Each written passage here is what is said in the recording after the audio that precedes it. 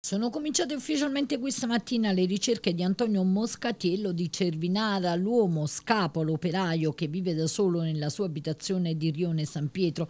Da sabato ha fatto perdere le sue tracce. È stata la sorella che quotidianamente assiste il fratello preparandogli da mangiare nelle faccende domestiche a recarsi dei carabinieri per riferire della scomparsa del 58enne. In paese molti si sono attivati prima delle ricerche ufficiali, ma dell'uomo non vi è traccia in seguito alla denuncia della famiglia famiglia si è attivato anche il sindaco, Caterina Lengua, si è messa in contatto con la prefettura di Avellino per chiedere l'attivazione del piano provinciale per la ricerca delle persone scomparse. Con il passare delle ore la preoccupazione dei familiari di Antonio Moscatiello aumenta a causa delle temperature torride che soprattutto in questi giorni non danno tregua e soprattutto perché a distanza ormai di quattro giorni ci sono solo segnalazioni da parte di persone che lo hanno visto sabato nei pressi di via Roma. L'ultimo avvistamento in verità sarebbe avvenuto dopo le 22.30 quando il 58enne, secondo un testimone, camminava lungo la variante che da Cervinara conduce a San Martino Valle Caudina.